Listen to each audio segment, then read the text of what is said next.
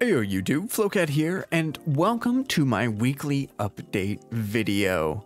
This week, I definitely have a lot more to talk about because I did the Parade of Providence event.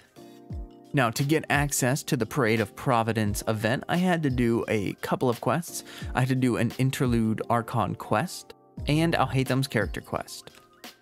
I have been sort of taking things really slowly and been stocking up on quests for months and months, so it does feel good to start tackling them and catching back up on where everything is in the story.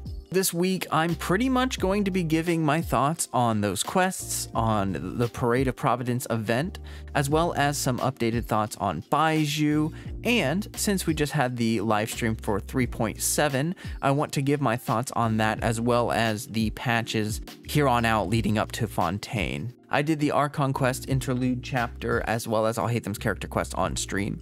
You're more than welcome to go ahead and watch those VODs if you would like, but I'm just going to go ahead and give some thoughts on those quests real quick. The interlude Archon quest was pretty alright. It wasn't super exciting. It was pretty interesting and it gave a closer look at, you know, our boy Scaramouche and, uh, you know, other things as well. I do like that we were able to pick the name for Scaramouche at the end. That was pretty interesting. And I have a clip that I'm to shove in right here. So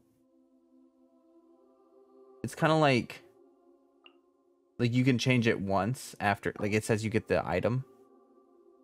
So it seems like you can uh change it afterwards if you don't like what you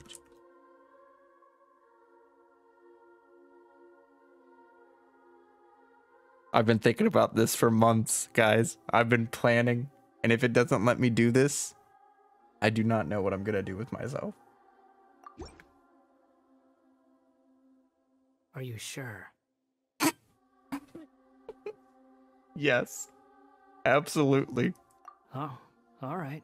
If you say so. Absolutely. There. Now you have a name of your own. What about a nickname?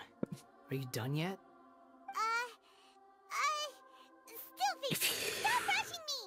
Perfect. I'd been thinking about that name for a long time and it just it just fits him so well, especially considering like that little fable that they told showed Skara as like a cat. I just I just thought that was too appropriate and adorable. So I I I I, regret nothing. I mean it was interesting to learn that the jester um you know is from Khaenri'ah officially, but I think we already sort of knew that anyway so that wasn't really a super huge lore reveal. Like overall, this interlude Archon quest didn't provide a lot of information that we didn't already know.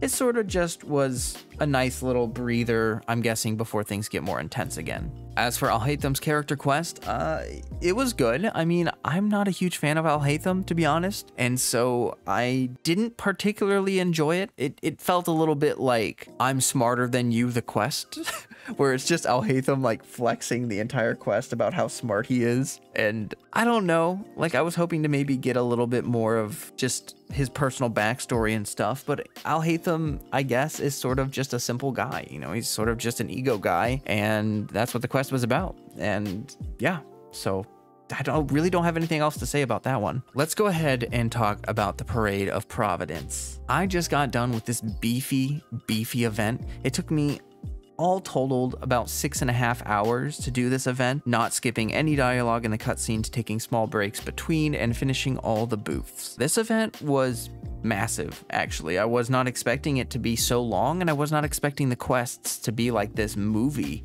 um, but it was, and I'm not entirely disappointed. I will say I ended up waiting too long on the event. I did feel a little bit stressed for time here at doing the event at the end, but I managed to get everything done in time with time to spare. Uh, and the only thing that it really affected was my video release. I am a little late on dropping this video because this event was a beefy boy, uh, to say the least. Overall, my thoughts on it were very positive. I loved to see all the character interactions.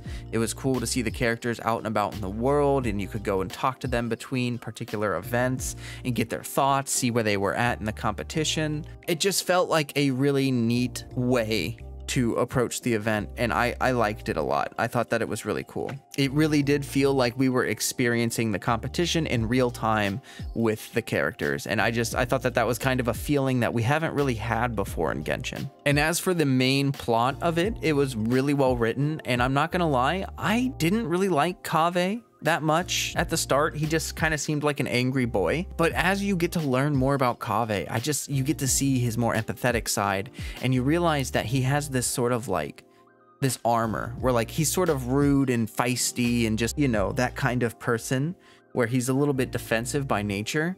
But he is absolutely uh, like heart of gold kind of person. The second that Kaveh sees someone struggling or sees someone who's down on their luck, he will do everything to his detriment even to help that person. And I, I, just think it was really cool to see that character be brought out in him throughout the quest. It feels like he really went through a lot of development. As well, it was very cool to see Faruzan and Layla and everybody else just out and about and exploring the event.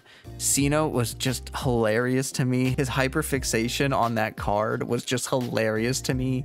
And Tignari provided a lot of great, interesting dialogue as well. I could probably ramble about this for quite a while. I thought it was pretty interesting how they showed that there are differing philosophies in Sumeru about the way the world is and the way that people are and the way that things function.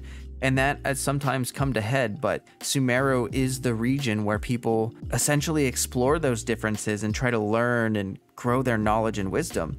So it was just very, very cool to see people from all different walks of lives and all different mindsets interacting and problem solving and discussing deep topics. I really particularly enjoyed that they expanded upon Alhaitham and Kaveh's relationship. On the surface, they obviously tease each other a lot, and there's, you know, Kaveh getting angry and Alhaitham just not caring, and that's, you know, sort of the shtick of it.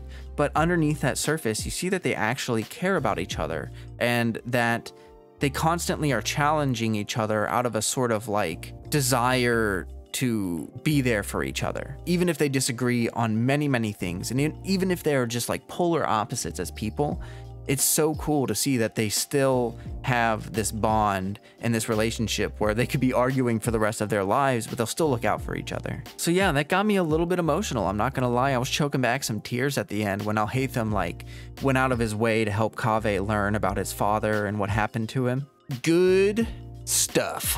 Uh, outside of the story, we had these little booths where you could do mini games, and I do have to say that I enjoyed the mini games. I like that they really weren't complicated. They didn't have too many steps. You sort of just show up at the booth, you do the mini game, and you move on.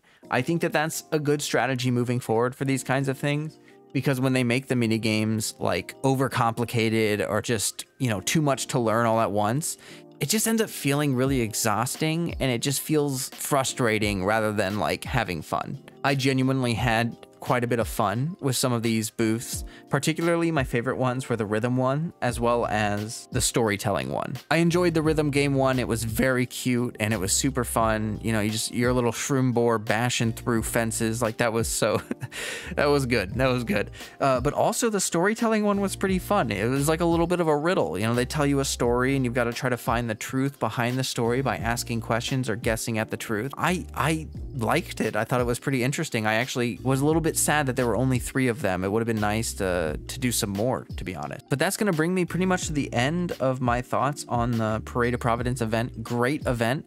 I love seeing these heavy story emphasis events, even though they are quite a lot to get through. I feel like it is a journey worth taking. It brings us closer to the characters, and it's just it's just such a good time. Like I love these kinds of events, and I know that now we're in between regions, and there's not going to be. Well, I'll talk about this a bit more later, but yeah, okay. Other than that, I have some new information on Baizhu. I have been trying out a Baizhu team it's Baizhu, Mona, Dehya, and Ayato, and it is a super fun Burgeon team. I know that it's an all five star team, so that's kind of, you know, whatever, but it's just, oh man, it's just a really good team. And honestly, Baizhu, Dehya, are sort of the core of the team, and Mona and Ayato could be swapped out with other Hydro units depending on your preference. So this is sort of like a team archetype that'll only grow as we get more Hydro units. But yeah, it's just, it's a Burgeon team and it's super tanky and it provides quite a bit of DPS.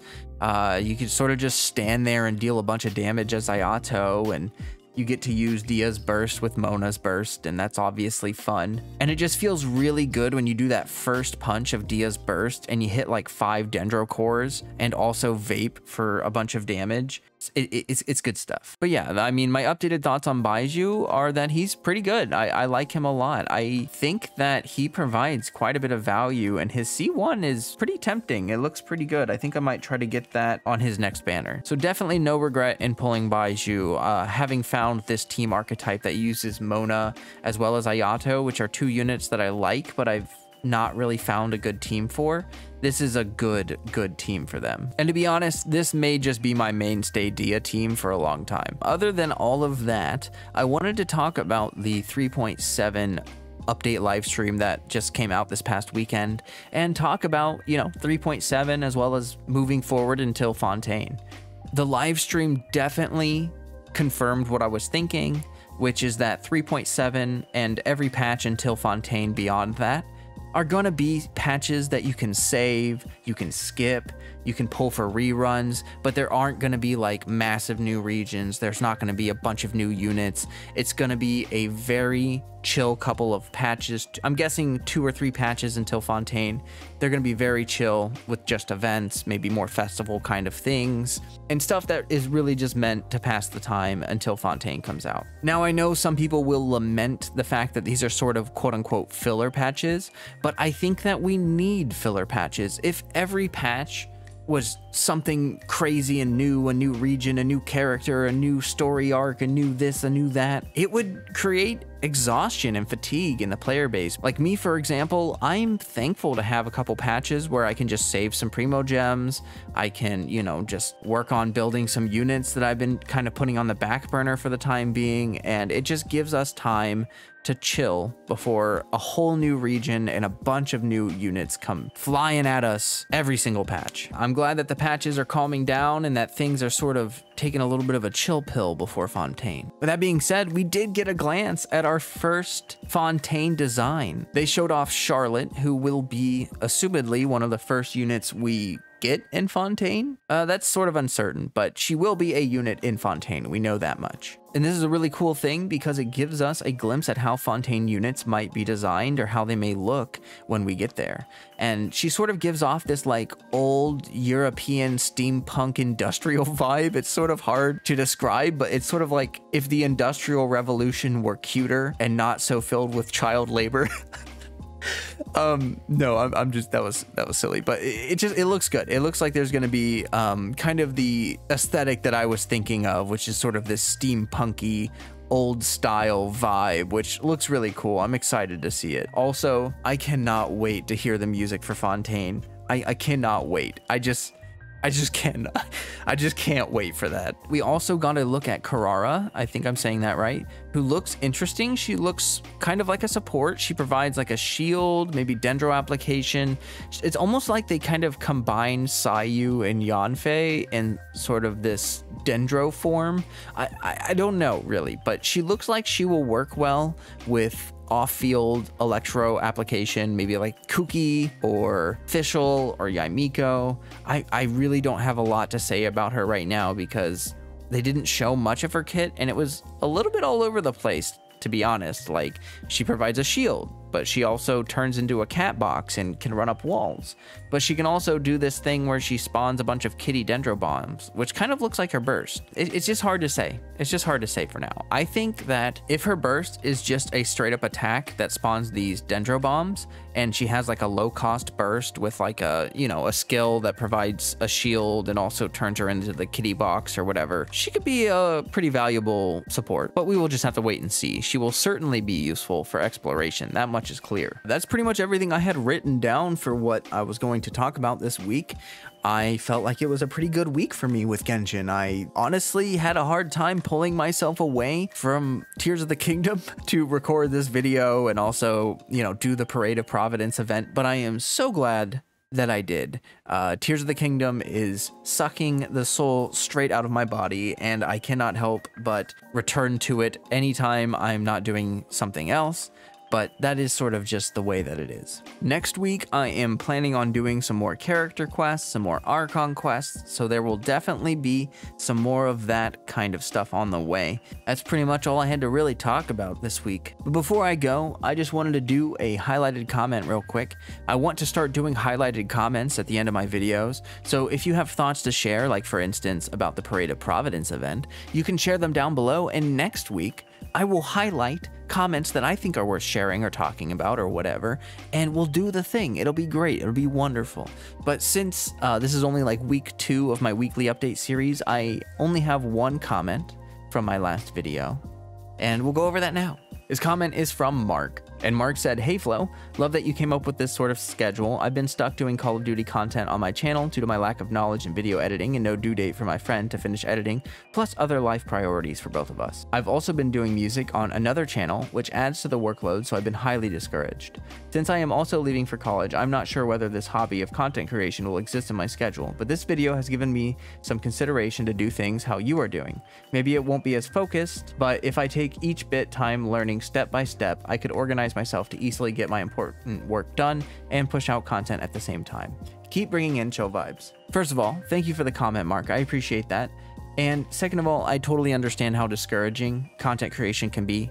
It can be a real slog when you put your heart into it and you're not seeing the growth that you want to see or you're not getting the results that you want to see. And to be honest, all I can say is to try to focus on what's important to you. Like for me, right now, what matters is just being consistent. That's why I came up with this video schedule idea. Like I'm going to put out a weekly video once a week. And because that's my primary goal, I don't have to care about it being like the best video ever or going viral or being a big success, you know? And that change in my mindset has been big for me because now it's it's a very simple goal. Get a video out once a week. Pull myself out of all the complexities that I've been trying to think about like, "Oh man, oh this that, oh oh what if this? Oh, but but maybe it's not going to go viral. oh, but maybe it's not a good video." All that matters is that I keep putting out videos and keep streaming. As time goes on, I can improve. I can get better and I can learn and grow as a content creator. But really just like doing the thing is the primary thing. So try not to get it discouraged. You know, I think that's like honestly the thing with content creation